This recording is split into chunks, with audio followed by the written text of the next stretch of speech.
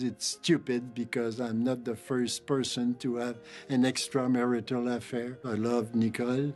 I love Madame Plamondon. Delisle was leading a double life. He'd been in a relationship with his former secretary for years. While she and the judge were friends at first, Plamondon testified that their feelings evolved in the months before Mrs. Rainville's stroke in April 2007.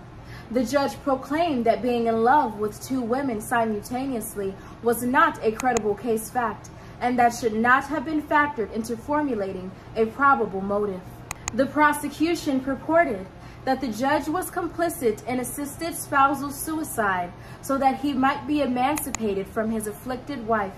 It was presumed that he ultimately desired to embark on a new life of light-hearted leisure with his long-term mistress.